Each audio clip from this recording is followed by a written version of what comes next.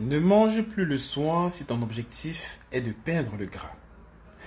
As-tu déjà remarqué que lorsque tu dors en étant légèrement affamé, le matin, tu n'as vraiment pas faim?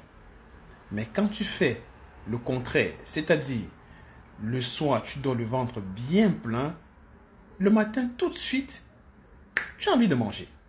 Je t'explique pourquoi. Avant de t'expliquer ça, je tiens juste à te rappeler que tout se trouve dans cet ouvrage.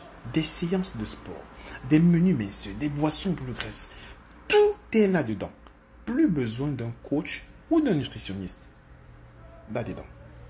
Eh bien, la raison pour laquelle tu dois arrêter de manger à partir de 19h, c'est tout simplement parce que ce type de jeûne permet d'optimiser le bon fonctionnement du foie, ce qui va permettre d'éliminer de façon efficace les toxines et les mauvaises graisses. Donc, perte de gras garantie. Ne perdons pas de vue que les réserves d'énergie sous forme de glycogène du corps sont épuisées à partir de 8 à 12 heures après le repas. En deux mots, plus tu vas manger le soir, plus tu vas maintenir l'insuline très haut et moins tu as de chances de brûler le gras.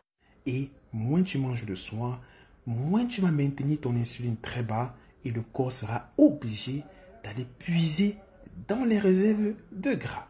Je t'invite vivement à te munir de ce puissant manuel qui est ton passeport corps de rêve garanti. Et si toi aussi tu veux que je t'aide à perdre autant de kilos que tu veux, mets-moi 3 en commentaire.